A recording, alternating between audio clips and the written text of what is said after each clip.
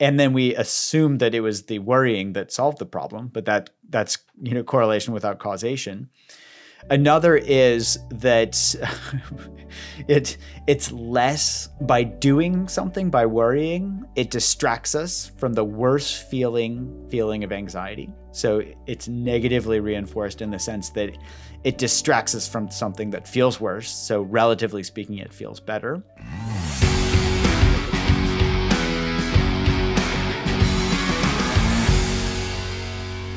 What's up, everybody, and welcome to the show today. We drop great content each and every week, and we want to make sure that you guys get notified. And in order to do that, you're going to have to smash that subscribe button and hit that notification bell. And if you've gotten a lot of value out of this, make sure you give us a like and share our videos with your friends. Well, welcome to the show, Jud. We're so excited today to talk about your latest book, Unwinding Anxiety. Thanks for having me. Now, Johnny and I have talked to a lot of authors of, of books around anxiety over the last decade, many of them titled Stop, Defeat, Beat Anxiety. Unwinding anxiety is a, a new perspective that Johnny and I hadn't heard before. So we'd love to just start with, you know, your definition of the book title.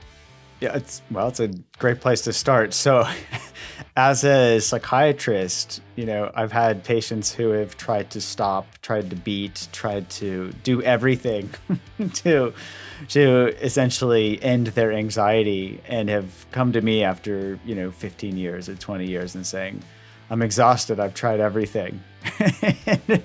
so this title came out of my own anxiety around hel- helping my patients, you know, about one in five patients shows a significant reduction in symptoms with medication. So my prescribing is basically me playing the medication lottery. And also, this serendipitously came together with some research that my lab had been doing around how to help change habits. And, and those two pieces came together that really changed the way that I view anxiety completely. Uh, and it, it's, it's really about unwinding it rather than you know it's like you have this string and you pull on it and suddenly that knot is you know oops you know you cannot get that knot untied. It's not about pulling. It's about uh, learning to see how the knot is tied and how to help it unwind itself. Something there that i want to dig into really quickly before we move forward which is what were your preconceived notions that you had before this discovery and changing these, I would imagine a lot of people hold those same beliefs about anxiety as well. Yes. So some were, and some of this was conditioned in, in medical school. So it, you know, it's like, well, the only thing that's going to help anxiety is, is giving them a medication. Uh, another one that I saw a lot in my patients, and I see this more generally as well, is people just feel like, well, that's the way I am. It's always going to be like that and in particular, you know, people thinking that they are an anxious person where they're so identified with the anxiety that they feel like they can't even imagine anything other than that. Now, this link between habits and anxiety, I had not heard before. And we don't often think about anxiety of basically being something that we could be doing to ourselves continuously through our behaviors and actions. We often think about it as something external that's happening. Some trigger or something is causing this anxiety in our life. So, how are habits and anxiety playing together or, or not playing well together for causing anxiety? Yeah, yeah, they kind of feed off of each other. So, any is any habit is formed through you know as three essential elements like you mentioned one of them already a trigger so trigger behavior and results process or, or, from a brain standpoint a reward so this was set up you know this is evolutionary conserved all the way to sea slugs, right? We all have the same process, and it's set up to help us remember where food is. You know, you see food, that's the trigger. You eat the food, that's the behavior, and then the reward is that your stomach sends this dopamine signal to your brain that says, "Remember what you ate and where you found it." So it's really this process. You know, it's called positive and negative reinforcement. It's help us to eat and not be eaten, right? We can also learn, you know, through fear where danger is and to avoid it in the future. Anxiety and this is it's every time I think about this, it still blows my mind. I've been I've been thinking about this for a long time now, but it still is amazing because I never thought of anxiety as being a trigger for ready for this the mental behavior of worrying. So the feeling of worry, which is part of the definition of anxiety, can trigger the mental behavior of worrying, right? So it can be a noun and a verb. So the trigger of anxiety triggers the mental behavior of worrying. And a lot of my patients say, well, I don't see anything rewarding about worrying. But at some point in the past, because this is how all habits are formed, and there's a fair amount of research going back to the 1980s showing that this is true, is that anxiety was rewarding in some way. And it can be. I'm sorry, the worrying, uh, the mental behavior of worrying can be rewarding in some way.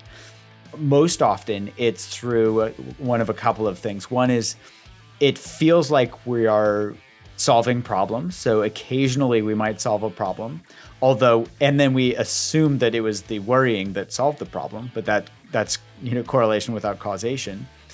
Another is that it it's less by doing something by worrying it distracts us from the worst feeling feeling of anxiety so it's negatively reinforced in the sense that it distracts us from something that feels worse so relatively speaking it feels better and the other way that i think about that is you know even if worrying about something doesn't actually keep you know keep that person safe or, or prevent that thing from happening at least it feels better than doing nothing. but, but there's a there's a fallacy in that that you could probably already see, which is worrying itself doesn't feel very good, and in fact, it can feed back and trigger more anxiety. Therein lies the problem.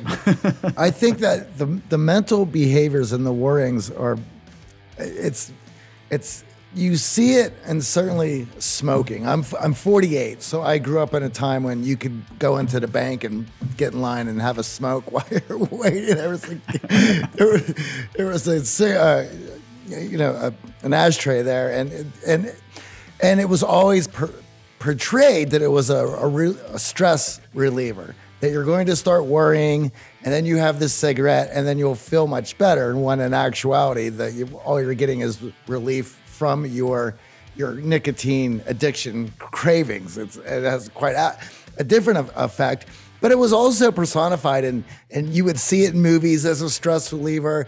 I, I remember as a kid asking my parents why they smoked. It was a stress reliever, and so you you certainly see it there more than anything, and it changes the way you relate to that cigarette. It changes the way you relate to those chemicals. So the chemicals are now the relief from not having the chemicals. We drop great content each and every week, and we want to make sure that you guys get notified. And in order to do that, you're going to have to smash that subscribe button and hit that notification bell. And if you've gotten a lot of value out of this, make sure you give us a like and share our videos with your friends. Yeah, it's crazy how we, and in, with smoking, it's interesting because nicotine is created. It's very toxic, actually. And so plants make nicotine so animals won't eat those plants. you know? And as humans, I mean, this is how crazy smoking is. As humans, we are willing to push past the nausea that comes when we first start smoking. And that nausea is our body telling us, hey, dude, you're ingesting a toxin. but we are willing to do that for the, the better reward of feeling cool, rebelling, whatever, because most people start smoking at the age of 13. They don't start smoking as adults. They start smoking because there's something that's really that they're willing to overcome, which is ingesting a toxin to have the bigger reward of, you know, being cool at school or, you know, imitating the Marlboro man or whatever. Well, I just I was just at my parents for for Thanksgiving and on television there was a Frankie Avalon series going on that that afternoon. And in one of the scenes, and it was just blowing my mind of the world that was portrayed in the early 60s and there was still so much innocence left on the on, in these movies and there was a pivotal scene where Frankie Avalon just gets gets off of a surfing expedition he comes back and he and there was this whole dramatic scene of him pulling out the cigarette and and I was marveling at how this was set up. Now, I don't know if the cigarette companies had paid for that, the way that worked out, but the way it was dramatized, then of course he starts singing while he's smoking, and it was this thing, and then she lights a cigarette to, to watch in, in utter attraction and amazement. And I was utterly blown away. I mean, so I mean, the messaging certainly was all around all of us at all times back then. Oh yeah, for sure. And it, it and today it's it's really heartbreaking to see in modern day where so many television shows also portray smoking whether it's like uh, mad men you know mm-hmm. where they're, everybody has a cigarette in their mouth at all times you know with that television show or even more modern movies etc there's you know there's there's this whole thing where people are smoking and it's just part of what they do setting up the whole you know messaging for kids. You know, if you want to be Don Draper, you got to have a cigarette in your mouth and a drink in your hand. you know, both of them. Oh, it's terrible. Some of your other work around eating and cravings and overeating is a very similar thing where many of us will overindulge to the point of sickness just to get that initial reward of the first slice of pizza or the first piece of candy. Yeah, isn't it amazing? Well, I mean, this is our brains. Our brains are kind of one trick ponies where they know one thing, which is this positive and negative reinforcement. And they just basically, you know, think of it as rinse and repeat. They just, okay, learn to smoke this way, learn to overeat this way, you know, learn to worry this way. You know, it's, it's the same process. And it's just amazing how much it can, you know, and in general, habits are helpful. It's, you know, I'm not saying that having habits isn't a good thing. Just imagine if we had to relearn how to, you know, put on our clothes to walk to make food, we wouldn't even make it past breakfast because we'd be so exhausted, you know, every day.